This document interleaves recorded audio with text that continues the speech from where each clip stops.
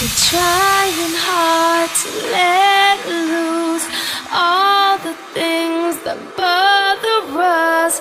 Then we go out and let it go. Then we go out and let it flow.